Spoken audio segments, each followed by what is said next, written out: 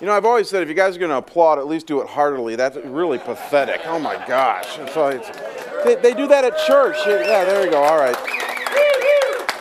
They do that at church too. You ever notice that? You know, it's like the end of, end of a sermon they go, ah, you I feel terrible. So uh, I, I, really am appreciative to the Alliance Defense Fund for uh, allowing us to have this place. And so it really is a huge blessing. You know, I, one of the things I said starting in 2008 through the whole recession that I know it technically hasn't continued on, but it sure feels like it, is that God is a God of provision. And that actually threw some people when you'd say that, because I don't think many Christians really thought about that. But the reality is, is that he said, not a sparrow falls to the ground outside of his will. Every hair on your head is numbered, and that God provides for his own. Uh, we don't know what always that means, right? And many of us try to demand that God provide this way for us, and God says, no, I'm going to provide this way for you. But the reality is, is that he does provide uh, for his people. And so, you know, when Dave and I were talking over the summer about where we were going to be, I just had full confidence, and, and so did Dave and many of you, that the Lord would provide for us. And He's used Alliance Defense Fund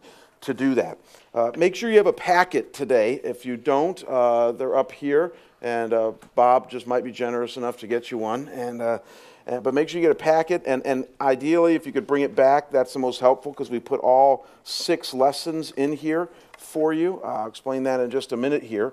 Um, I got to tell you, it's a perfect setting being here at ADF for what we're going to do over the next two months here at Marketplace Bible Study. The reason it's a perfect setting is because we're actually going to talk about the defense of the faith. We're going to talk about how uh, you and I, as believers, can have confidence in the faith that we have in Christ and our Christianity, as well as how to uh, share with others the reasons that we believe. And, and you say, well, what's ADF have to do with that? Well, ADF is an organization that protects the rights of believers in the states and throughout the world uh, to, and the rights of churches to be able to talk freely and honestly and candidly about our faith. And so I see this as a great marriage for what we're going to be doing in, in Marketplace over the next uh, two months here.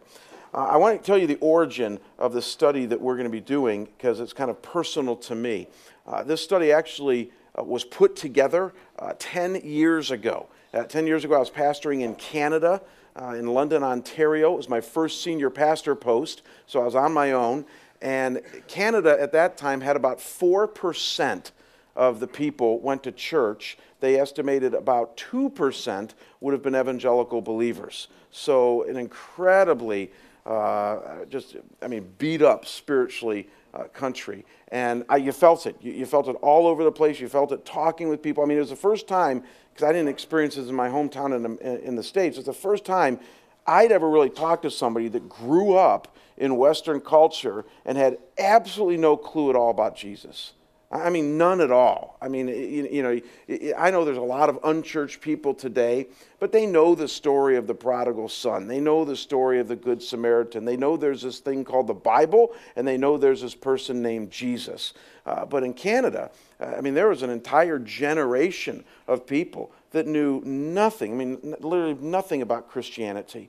And so it was an incredible mission field, but also uh, you had to think very creatively about how, how are you going to reach people. And just before I was leaving there, I was only there for two and a half years, uh, I did a series, uh, an outreach series for my community called What Keeps Me From Believing. What keeps me from believing? And, and it was just the lessons that we're going to look at today that were initially geared toward reaching lost people. But here's what's happened to me over the last decade. It's over the last decade what's hit me is that those same things, not, now dial into this, those same things that keep them from believing are the same things that keep me believing.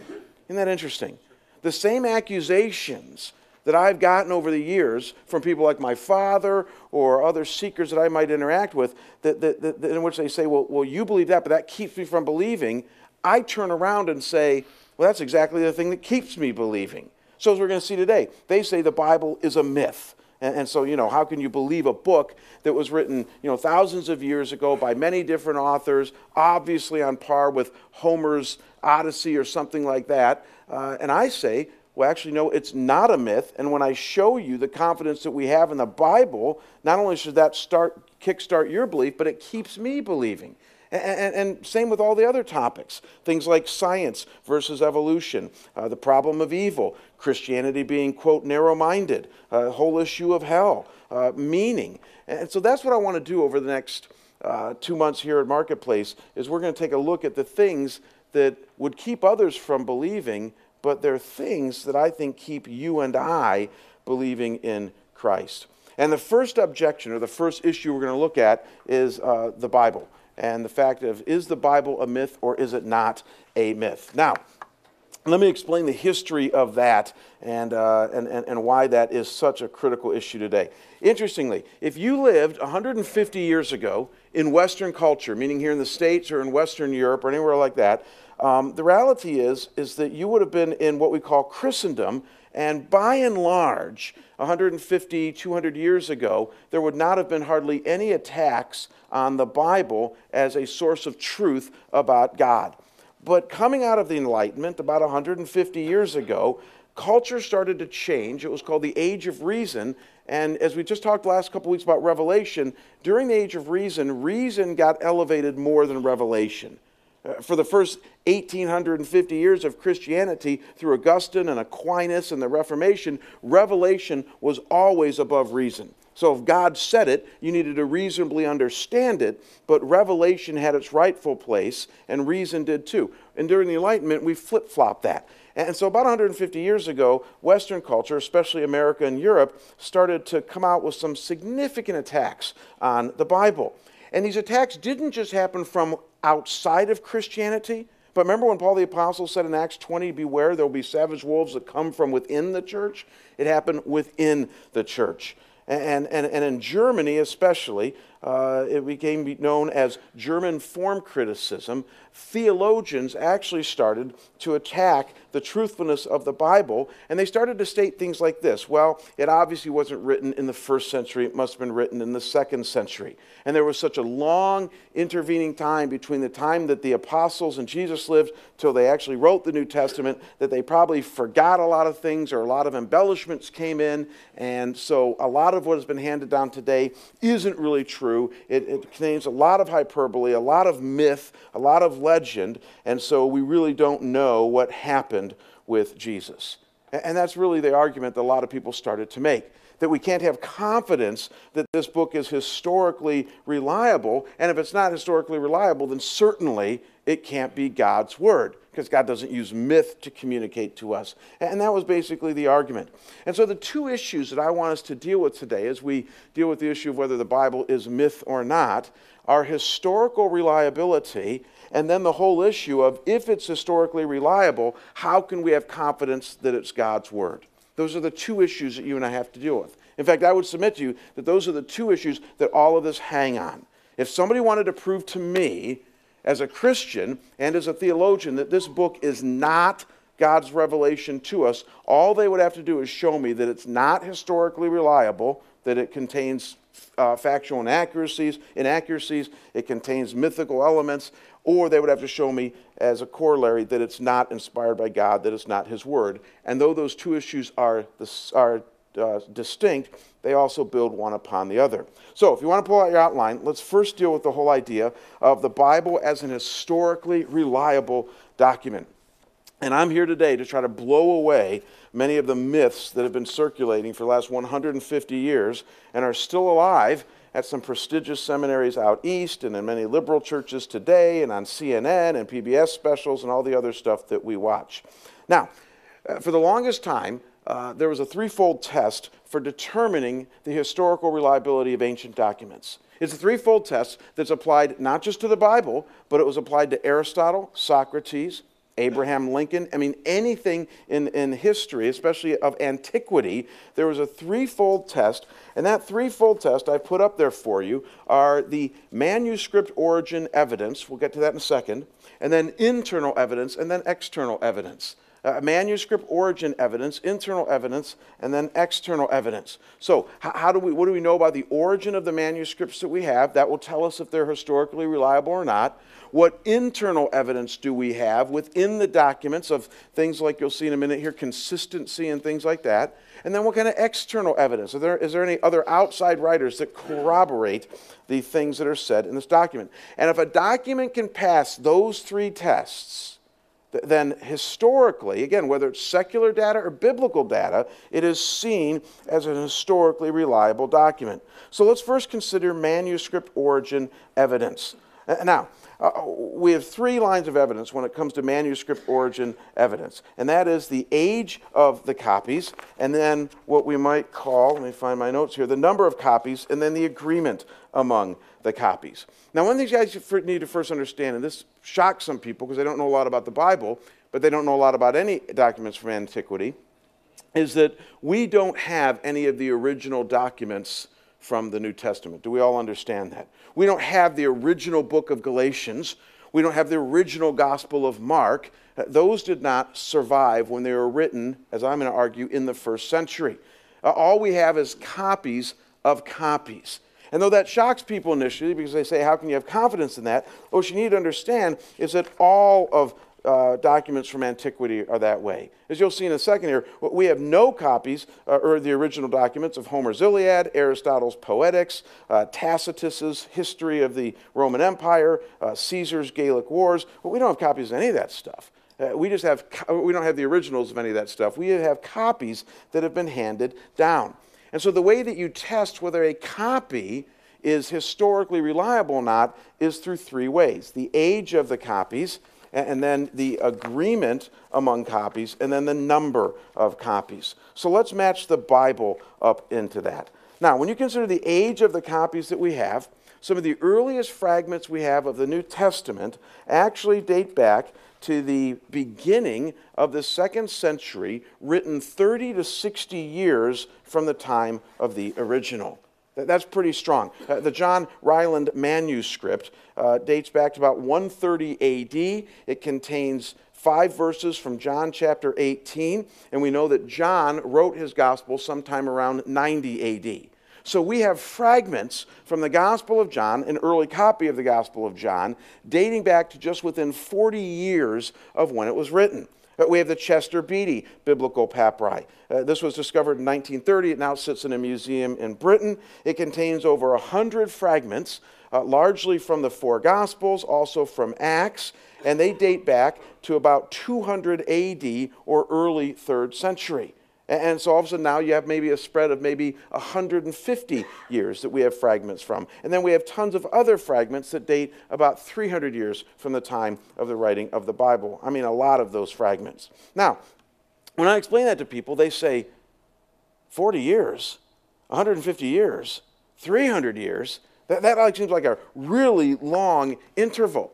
And in one sense it is, but, but let's get our heads and hearts around the whole idea of documents from antiquity. Okay, so for instance, uh, Homer's Iliad, which everybody accepts was from Homer, and they accept that Homer wrote it, was written in 800 BC. The earliest copy we have dates to 300 AD.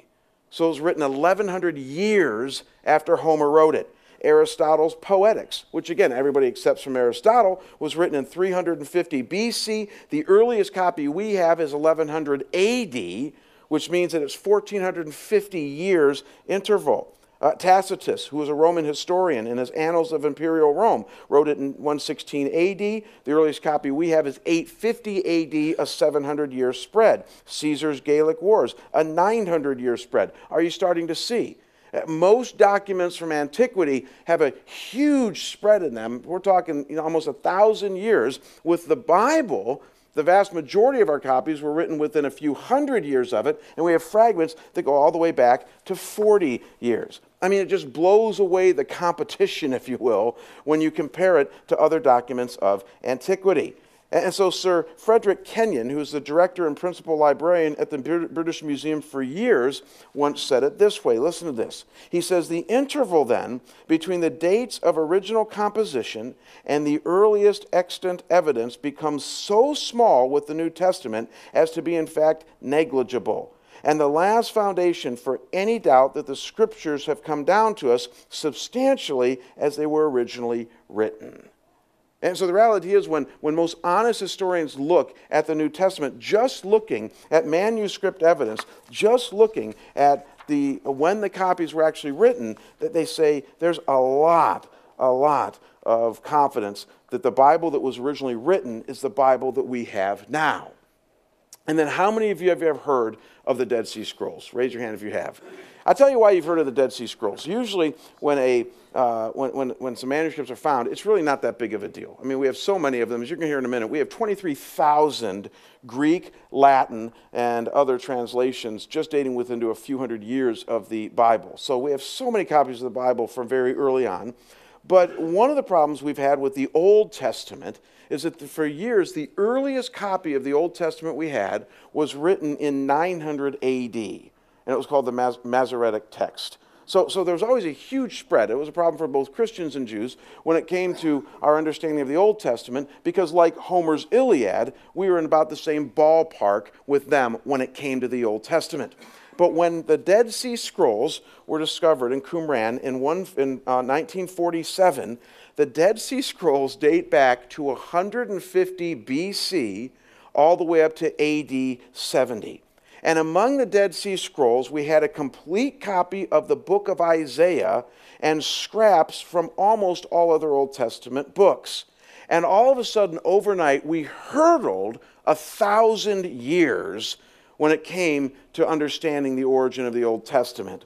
And what blew people away more than anything else is that when compared to the Masoretic text of 900 AD, it was almost identical. We'll get to that in a minute, but, but let that sink in a minute. Almost identical. In 900 to 1,000 years, it didn't change. Uh, in, other words, the copies that we have were extremely reliable. So just the copies alone, the age of the copies, give us strong, give strong credibility uh, to the Bible. Now, second line of evidence under manuscript origin, and this one is going to blow you guys away, as I said earlier, is the number of copies. The number of copies. What, what language was the New Testament written in? Anybody know? Greek. Perfect. What language was the Old Testament written in? Hebrew. Good. You guys know, you know your Bible. Uh, we have 5,000 Greek copies dating to within a few hundred years of the time of the New Testament. We have 10,000 Latin copies, and we have 8,000 Slavic and Armenian copies, for a total of about 23,000 copies written within a few hundred years of the New Testament. And, and again, some people say, well, big whip, we have a lot of copies. But I want you again to compare this with other documents of antiquity that nobody tends to doubt. Again, Aristotle's Poetics. We have five copies of that, five copies only. Caesar's Gallic Wars. We have about nine to ten copies. Homer's Iliad. We have about 650 copies. In fact, Homer's Iliad is second only to the New Testament, in which we have 5,000 copies. 5,000 Greek copies compared to 650 of the, the Iliad. And so, again, the number of copies is overwhelming when it comes to the New Testament. And the number of copies, historically, for secular historians, has always been an important consideration. Because if these copies, as we'll see in a minute, can agree with one another, then you got confidence. So listen to what Lee Strobel says in his groundbreaking book, Case for Christ. He says the manuscript evidence for the New Testament was overwhelming when juxtaposed juxtaposed against other revered writings of antiquity, works that modern scholars have absolutely no reluctance treating as authentic. So the point is, is that if you're going to accept Aristotle's Poetics or Homer's Iliad as at least being written by those men, then you got to accept the New Testament as it is today. Because applying the same evidence that you apply to the New Testament is actually stronger than anything else we have. And then the third line of evidence is agreement among the copies. And I would submit to you that this is the most important. That if there are all these copies written over a span of a few hundred years in multiple languages and they don't agree, then obviously it's going to be hard to see it as authentic. Now, I, I forgot to bring my Greek Bible, but I, I forgot it last night and I didn't have time to go to the office this morning. But I, I have a Greek New Testament that, that I, uh, well, I, I, wish I could say I use it all the time, but I used to use all the time, uh, but now I just rely on commentaries. But my Greek New Testament is called the Nestle Aland 27th edition. And it's interesting when you read it because obviously it's all in Greek, but it contains literally thousands of what they call variants. And a variant means that when you look at there's actually four main schools of copies. There are thousands of copies, but it falls into four main schools. When they compare those four main schools, there are indeed quite a few variants, uh, quite a few differences on a very small level. And one of the accusations you might hear somebody make against the New Testament is that, and they would be correct when they say that there's literally 10,000 variants in the New Testament. How can you say that's authentic? But slow down. Because you see, the way they count variants is that if one word is misspelled in 2,000 copies, they consider that 2,000 variants. So it's a matter of how they add it up. So again, if one word has one misspelling compared to another, and there's 2,000 of those, then that's 2,000 variants. And you got to remember, back then when they were copying things, they had no eyeglasses. The scribes would be tired. They'd have some inattentiveness at times. In other words, they were human beings. And of course, when you're making copies, you're going to have some small variants when it comes to the copies that you make. And so those do in, uh, exist in the New Testament. And when I read and study for a, a message that I'm giving at my church, I look at all the variants. And a variant might be a spelling, it might be use of this word versus that word. I mean, there are some differences among the New Testament, but the variants are always very, very small. And get this out of all of the variants that exist between the New Testament copies, not one major doctrine is affected. Isn't that interesting? So, out of all the different variants, I mean, they're really more about spelling and word choice and grammar.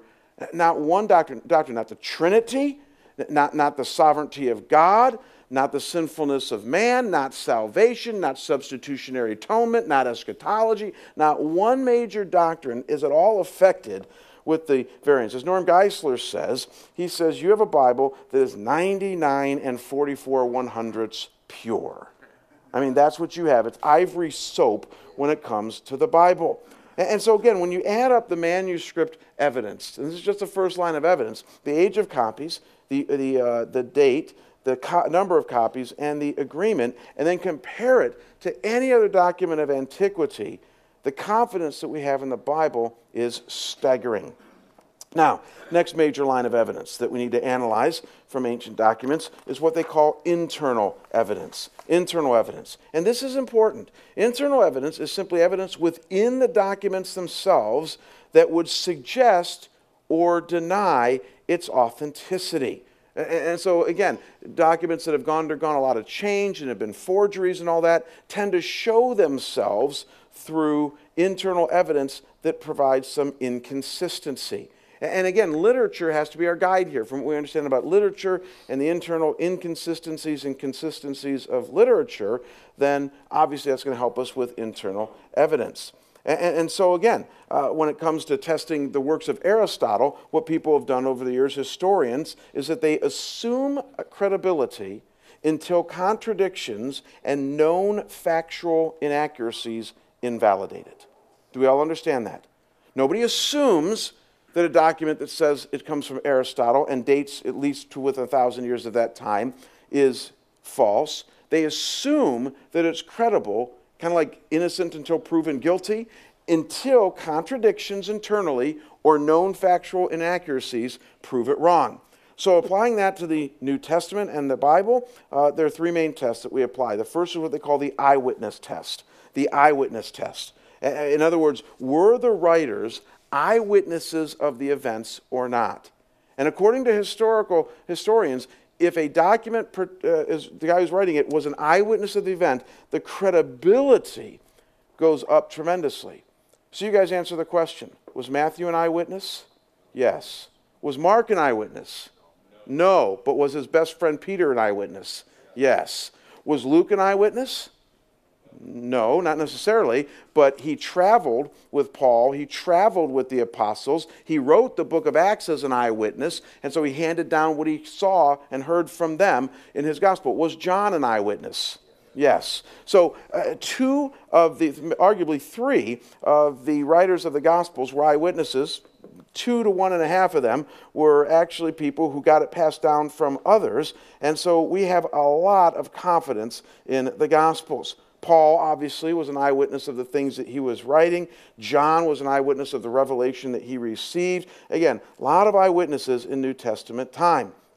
And one of the things we also need to understand, however, is the power of oral tradition back then. In other words, if somebody was an eyewitness of something and it was really important that they get it right because we didn't have computers back then, there was this thing called oral transmission, you telling another person about it. And it was interesting, from the Jewish tradition, the rules for oral transmission were incredibly strict.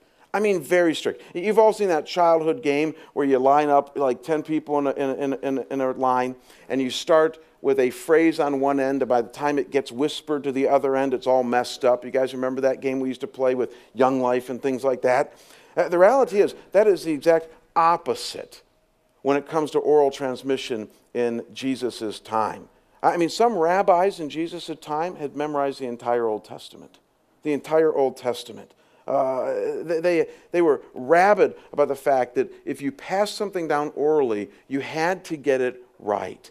And you'd even have multiple people memorizing the same event to make sure that you got it right. In fact, listen to what the Mishnah, which is a Jewish didactic manual from around the time of the first century, listen to what the Mishnah says. It says, A good pupil is like a cistern that loses not a drop. A good pupil is like a cistern that loses not a drop. So the reality is, is that we have a lot of confidence in Jesus' day that when they memorized his parables, memorized his sayings, memorized the historical events, that it was accurate when it was handed down. Eyewitnesses handed down accurately to other people. Second test we provide is the consistency test. Now, some of you are falling asleep already. I know. We got about 29 minutes left, so dial into this one. I'll tell you why because this is where your faith will get attacked the most on this test, the consistency test. And you've all heard it. You've heard people say that the Bible is full of errors, that it'll say this in one sense and then this in another sense, and it's contradicting itself, right? The Bible is full of a bunch of self contradictions. I call those apparent discrepancies. Apparent discrepancies. So when somebody says to me, the Bible contradicts itself, I say, oh, you mean you're talking about those apparent discrepancies. Because the reality is, is that there are some apparent discrepancies in the Bible, and you want to take each one, and maybe we should do a series on this sometime. You want to take each one one by one and look at it closely and ask yourself, does this apparent discrepancy hold water? So, let me give you an example. This is not on the PowerPoint, but you can write this down. If you're taking notes, write down Matthew chapter 8, verse 5, versus Luke chapter 7, verse 3. And I'll read for you the apparent discrepancy. Matthew chapter 8, verse 5, and Luke chapter 7, verse 3. It's that famous story of the faith of the centurion who summoned Jesus because his servant was sick. And Jesus came and healed his servant. So it says in verse 5 of Matthew chapter 8, when he, Jesus, entered Capernaum, a centurion came forward to him, appealing to him. Okay? A centurion came forward to him, appealing to him, and then they go on to talk about the healing. But Luke, in his telling of what is actually the exact same story, says in Luke chapter 7, verse 3, very, very similar wording he says, When the centurion heard about Jesus, he sent to him elders of the Jews asking him to come and heal his servant. Now, what's the apparent discrepancy here? You guys catch it? Yeah, did he send the elders to have Jesus come, or did he go himself and do it? And again, sounds like a small thing, but you and I argue as evangelical Christians that the Bible is the Word of God wholly true in everything that it says. And so, obviously, right there, somebody would say, see, both can't be right, so it's obviously a contradiction. The Bible can't be true. But slow down. Because one of the things you have to understand whenever you're reading any document, whether today or in antiquity, are, are the rules of the culture and how, how, the language works and how things are communicated. And most important in this one is the issue of what theologians call the representation factor in that culture. And what they mean by that is that in that culture back then, uh, it would be the same if you were a rich or powerful man, it would be the same as you inviting someone to your house if you did it yourself or if you sent a representative to do it. It would be the same. In other words, it was called a representative culture. So it would be considered the same if the centurion came himself or if the centurion sent representatives. It would be the same thing of the centurion inviting Jesus to his house. It's a representative culture. And historians, each, even outside the Bible, would understand that. And so the reality is, there's not a contradiction there when Mark says that it was the centurion who invited, and when Luke says that he sent elders, they're both correct. Uh, technically, Luke is the most technically correct there because he would have sent the elders. But in sending the elders, it's exactly like he himself was inviting them. And the reality is, is that that's just as, in that culture, that carries just as much water as the other. So, this is not just my answer, by the way. Listen to what uh, Craig Blomberg, who teaches at Denver Seminary, says about this exact same, same issue. I think he's got a good point here. He says, Think about it this way. In our world today, we may hear a news report that says the president today announced that. The president today announced. When in fact, the speech was written by a speechwriter and delivered by the press secretary. And with a little luck, the president might have glanced at it somewhere in between. Yet nobody accuses the broadcaster of being in error, right? So if we say the president announced, but it was actually his press secretary that announced, are both correct? Yes, because you and I also have a representative culture. So the broadcaster would not be in error saying the president announced, even though the president used one of his representatives to announce it. So Blomberg says this way in a similar way, in the ancient world, it was perfectly understood and accepted that actions were often attributed to people when in fact they occurred through their subordinates or emissaries, in this case, through the elders of the Jewish people. So, do you see the importance of taking each apparent discrepancy as they come? I love talking to people about this, especially people that aren't convinced, because it's easy to throw rocks at glass houses it's easy to take pot shots at the Bible and say, well, it's obvious got contradictions, but you got to slow down and look at each one within the historic context of how they were written and ask yourself, is that really a discrepancy? Or, understanding the culture back then, could there be something else going on? And quite frankly, there are, are quite a few of these scenarios, apparent discrepancies in the Bible. I mean, I've been studying these for years, and I have yet to find one personally that I can't find a rational explanation to. Isn't that interesting? My old man and I talk about this all the time, as you can imagine. Every time I go in to visit him, this discrepancy, that discrepancy. And when I slow down, take a look at it, I can always find a reasonable explanation, given that culture, as to why it was recorded that way. So I guess what I'm saying is 21 years of being a pastor, 30 years of being a Christian, and rather open minded, I've yet to find anything that would prove to me that the Bible is inconsistent, quite frankly, the opposite. As we'll see in a minute here, this book was written over a 1500 year period of time. It has 66 different books in it. It incorporates all kinds of genres, different authors, all kinds of perspectives. It broaches just about every major issue in life, and yet it hangs together perfectly and doesn't have one major inconsistency in it. Find me another book like that. You won't. Uh, third test before we move on to external evidence is what they call the cover up test. And this one's actually kind of subtle but very powerful. One of the things that we look at when we look at documents of antiquity is is it too perfect? You know what I'm saying? Is, is it, because if it's too perfect, it's probably fake. It, just, just, like today, if you see, see a diamond that might look too perfect from the outside, you have to look at it very, very, very, very closely uh, under a microscope to, to understand if it's real or not, because sometimes things can look perfect on the outside, but it's just un- underlying, it, it's fake. And so when you look at uh, documents of antiquity, they look for its authenticity by asking, does it include anything embarrassing? Does it include anything that might be self damaging? Does it include anything that would be controversial in nature? And if it doesn't, interestingly, if it doesn't communicate any of those things or have any of those things, they actually wonder about its authenticity because that just wouldn't be real life. So think about the Bible in this great, or the gospel accounts in, uh, in, in that light. I mean, in the gospel accounts, you find Jesus, you find women first finding the resurrected body. Remember that? How the women were the first ones to find Jesus? I, I got to tell you, that's not a selling point in the first century. Uh, it was a much more bigoted culture. It was a culture in which women were seen as third or fourth class citizens. They were not to be tried. They couldn't even witness in a trial of law, a court of law back then. So for the gospel writers to say that the women were the first one to find the empty tomb, see, isn't it empty, was not a strong selling point back then. But it's historically reliable. And so people tend to accept that. Think of the hard sayings of Jesus Be perfect as your heavenly Father is perfect. Uh, I do not commit divorce except for marital infidelity. I mean, the hard sayings of Jesus are by their very nature hard. And again, people wouldn't just write these things because they'd be discredited almost immediately unless they were true. Or how about Jesus' famous statement on the cross, My God, my God, why have you forsaken me? That's a hard one to get around theologically.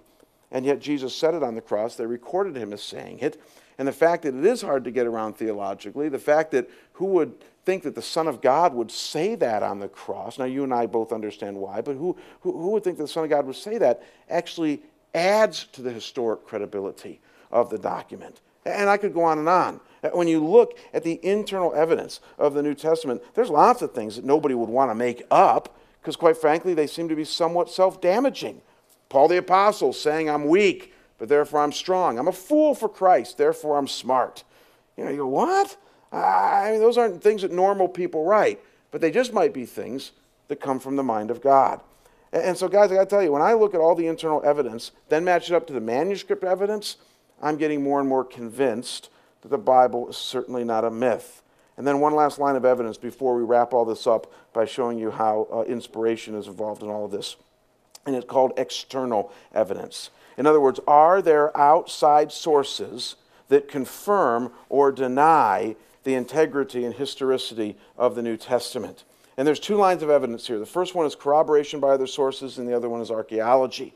Now, again, if the number one claim that people give to the Bible is it's full of a bunch of errors, therefore it can't be true, the, the second claim that I hear all the time from people is they say that no other document around the time of Jesus ever talks about Jesus, only the New Testament. So obviously, it's a myth on par with Homer's Odyssey. Uh, uh, Charles Templeton, some of you guys remember him. He was a, one of the founders of Youth for Christ. He was an evangelist back in the 1940s, became a pastor, and then eventually became an agnostic and an atheist, and very vocal about saying Christianity is a farce. And at one point in his life, when he was very public, he died about 10 years ago, when he was very public and was coming against Christianity, he made this claim. He said, There isn't a single word about Jesus in secular history, not a word not a mention of him by the Romans, not so much as a reference by Josephus. Now, when you initially hear that, it sounds really compelling, doesn't it? Like, you know, if you're watching a PBS special or one of those goofy MSNBC specials that come around at Christmas and Easter and they're looking at the historical Jesus and they cite something like that, you go, whoa, that sounds ominous. The only problem is, is that it's totally mistaken and totally wrong. I mean, you got to almost wonder uh, if this person was just foolish, ignorant, or had a bent against Christianity in which he didn't mind making inaccurate statements. Because the reality is, guys, is that we have numerous secular, meaning non friendly, sources right around Jesus' time that confirm his existence. So let me give you a couple examples. Josephus, whom Templeton mentions, is a Jewish historian in the first century. He was born around AD 37 and he lived uh, until early second century. And his most famous work is called Antiquities. It's a history of the Jewish people that he wrote in 93 AD. And in this, he mentions James, the brother of Jesus, as well as Jesus directly two different times. And one of the most controversial things that he wrote is so eerily historical about Jesus that historians will actually say, well, Josephus couldn't have written that but it's right in the middle of his antiquities. And so you're going, wait a second, you accept all the rest of it, but you don't accept this. Listen to what he wrote at some point, right in the middle of his Antiquities. He said, About this time there lived Jesus, a wise man, if indeed one ought to call him a man. For he was one who wrought surprising feats and was a teacher of such people as accept the truth gladly. He won over many Jews and many of the Greeks. He was the Christ when Pilate, upon hearing him accused by men of the highest standing among us, had condemned him to be crucified, those who had in the first place come to love him did not give up their affection for him. On the third day, he appeared to them restored to life, for the prophets of God had prophesied these and countless other marvelous things about him. And the tribe of Christians, so called after him, has still not to this day disappeared. Guys, think about it. He mentions Pontius Pilate, the crucifixion, the resurrection, the fact that people called him God, all in one paragraph. And people say there's no secular writing around the time of Jesus that talks about Jesus.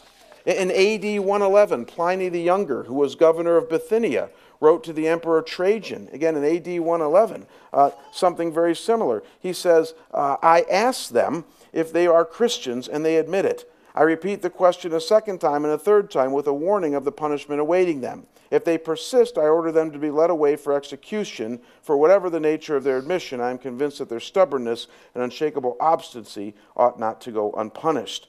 They also declare that the sum total of their guilt or error amounted no more to this that they met regularly before dawn on a fixed day to chant verses alternately amongst themselves in honor of Christ as if to a God, and also to bind themselves by oath, not for any criminal, criminal purpose, but to abstain from theft, robbery, and adultery.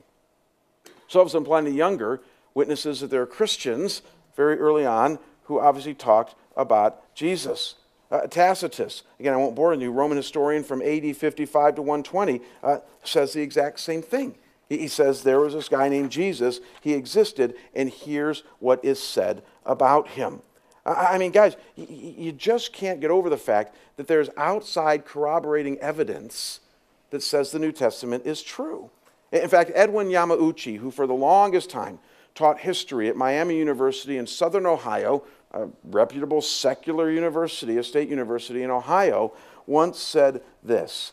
He said, We would know that first, he was asked the question, what would we know about Jesus if the Gospels never existed? If all we had was the outside secular sources, what would we know about Jesus? He says, we would know that first, Jesus was a Jewish teacher. Second, many people believe that he performed healings and exorcisms. Third, some people believed he was the Messiah. Fourth, he was rejected by the Jewish leaders. Fifth, he was crucified under Pontius Pilate in the reign of Tiberius. Sixth, despite his shameful death, his followers, who believed that he was still alive, spread beyond Palestine so that, they were mul- so that there were multitudes of them in Rome by AD 64. And seventh, all kinds of people from cities and countryside, men and women, slave and free, worshiped him as God.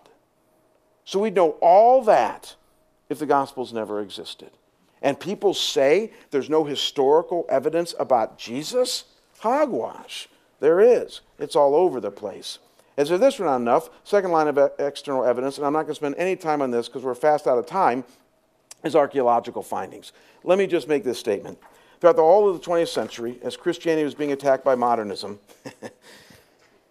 they used to always say, they used to always say that, that the more we find out about archaeology, the more we're going to disprove Christianity.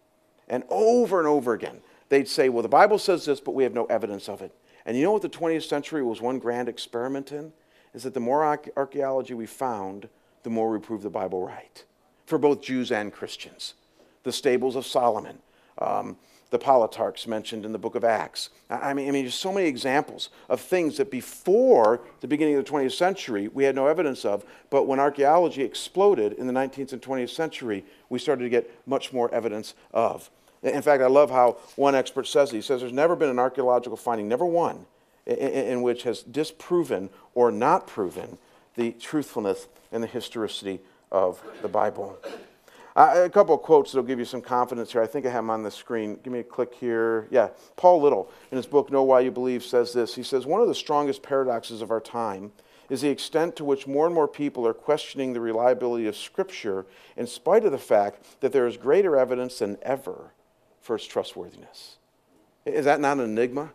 So, so we have more and more people doubting, and yet as Christians, we have more and more evidence of it. Uh, Clark Pinnock, who was professor of systematic theology at Regent College, said it this way said, There exists no document from the ancient world witnessed by so excellent a set of textual and historical testimonies and offering so superb an array of historical data on which an intelligent decision may be made.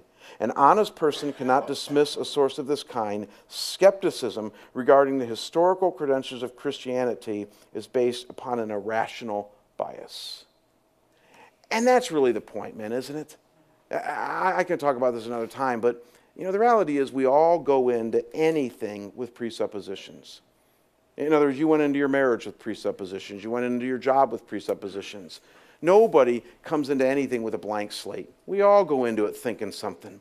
And when you look really closely at the attacks on Christianity in the last 150 years, there's a lot of presuppositions that people had. Most people that attack Christianity go in it with a presupposition of either a natural worldview, a liberal worldview, uh, maybe a Darwinian evolution worldview. I mean, the reality is, is that presuppositions color our thinking tremendously. And I sometimes wonder if more of the attacks on Christianity are not based on rational inquiry, because they don't seem to be, more than they do presuppositions that people would just hope it's not true, because the ramifications on one's life are significant, right? I mean, if Christianity is true, if God really did come to this earth, die on a cross for your sins, rise from the dead on the third day, and then make a call on your life to his lordship, if all that is true, then that changes our lives. It requires submission, it requires moral evaluation, it requires an examination of our heart and mind and what we're giving our lives to. And the reality is, the Bible says that the number one lure of our fallen sinful nature is to do, do life our way to go our own way, to live a hedonistic, selfish life. And the reality is, God comes along and calls us to repentance. And so I wonder sometimes if the reason that people really don't want to admit Christianity true has nothing to do with its academic credentials. It has more to do with you don't want to submit to God. I don't want, I want to bend the knee to Him. Because if I do that, then my life won't be as fun, or it won't be mine, or whatever people might think. Now, I think sometimes that's what's going on more than not. One last thought. Uh, if the Bible, well, actually, we're going to start, we'll go to that next week. We're out of time. We're not in a hurry with this. So next week, I'm going to finish up uh, this by talking about, and this will be really important, um, how we go from history, the historical credentials of Christianity, to inspiration. And by the way, that's a very important leap. In other words, just because the New Testament, as we've seen today, is historically reliable, does not mean it's the Word of God. Do we all understand that? So I want to talk a little bit next week on why we believe it's the historic Word of God. I'll walk you through that little flow chart I have there, and then we'll move on uh, to our next topic, probably starting midway through next week. All right? But let's pause right now for questions uh, or comments you guys might have. Yeah, over here. Wait for the microphone, please. Doubt the existence of Jesus. Okay. Uh, I like how you asked that. Repeat it exactly how you just asked that. Does any reliable historian doubt the existence of Jesus? Does any reliable historian doubt the existence of Jesus? Depending on how you define the word reliable, the question would answer that would be yes. And I guess I would say, I wouldn't say reliable, I would say, uh, I mean, look, there, there are some historians, albeit to be a very much a minority, that would say, I don't think Jesus existed. And they have an answer for everything I just said today. They would say that the New Testament is colored by the thinking of Matthew, Mark, Luke, and John, that they inserted that thing into Josephus's Antiquities, and yada, yada, yada. They have answered everything.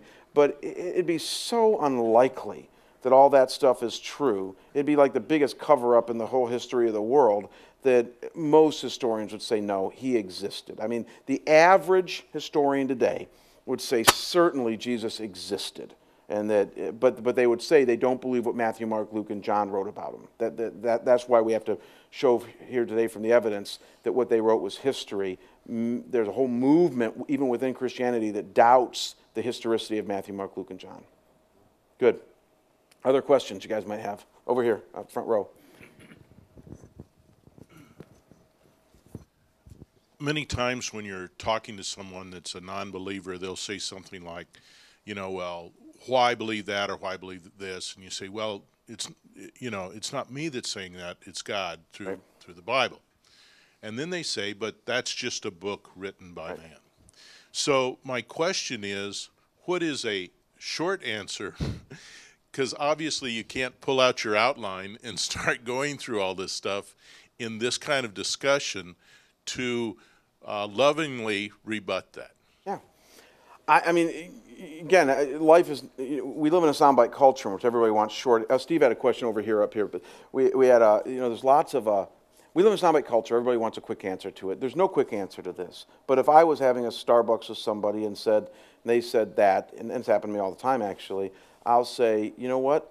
Um, the Bible is a lot more historically reliable, and therefore what it says about itself carries a lot more weight than what you just suggested. I, I think what you just suggested, with it being a, a myth or whatever it is, is not as true as you might think. I think the evidence is actually not in your favor. It's more in the favor of the Bible. And now just let that stand. Because you're making a blanket declarative statement in a humble way. Hopefully, then that person would say, Well, what evidence do you have? And then you either want to give them the link to Marketplace Bible Study, or you want to pull out your outline, or give them Lee Strobel's The Case for Christ, or if they're really academic, give them some of Lewis's writings or something like that. But, you know, there's so much writing on this out there. There really is. I mean, one thing we don't lack from today is Christian publishing. And so there's some great books and resources uh, out there for this.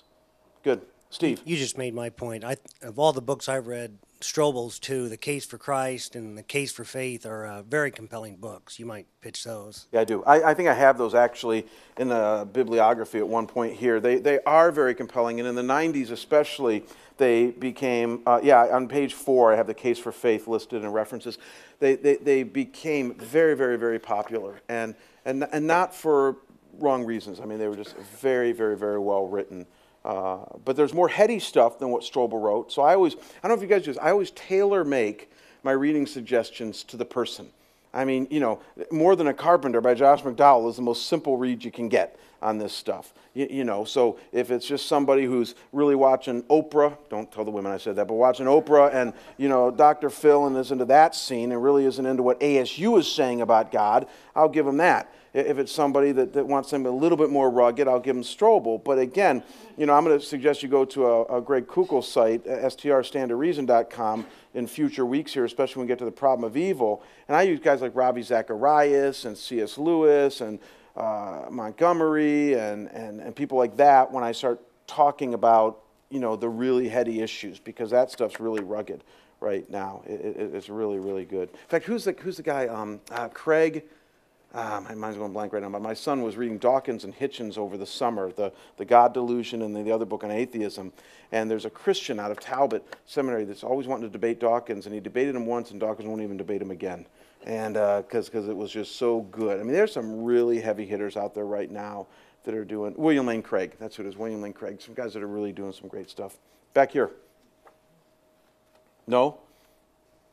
Come on, what is? This side of the room's dead. Anybody got some questions over here? Yeah, right here, Ryan.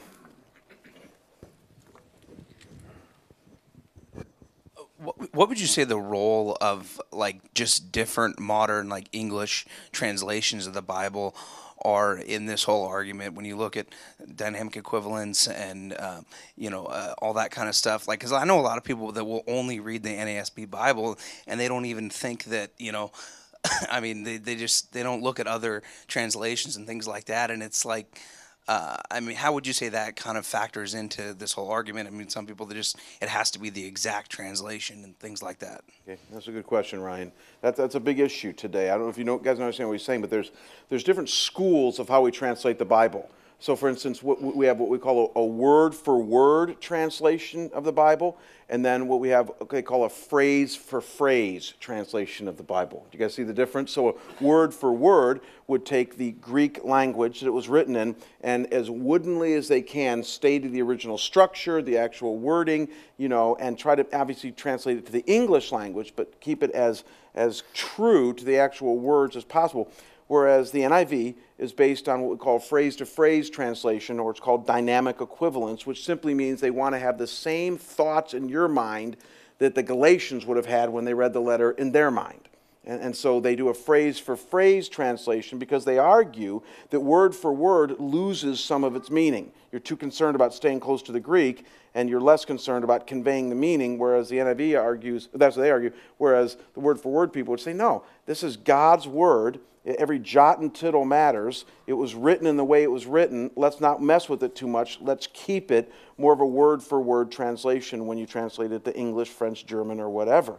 And so there's kind of an argument between the two. Now, before I give you my, well, you guys know what I think on this because we use the NASB and the ESV and we don't use the NIV. So obviously, I've tipped my hat there. I tend to think that the word for word translation is much more accurate, and that quite frankly, if you want to understand what they were originally saying, that's the best way to do it. It's harder to read, but come on. I mean, it's still English. I mean, it's not the King's English. I mean, it's, it, it, you can still read it. It's just, you know, not as, hey, give me five, Paul. I mean, it's not like that. It's just written more toward, you know, the, uh, the, the first century. And, and so I think that's the best way to do it. But let me make a quick comment on that. We have thousands of people at the church I pastor. I can't get the volume of them to read the Bible, period, on a regular basis. So if one of them starts to get excited about the Bible and reads the NIV, am I going to complain? No.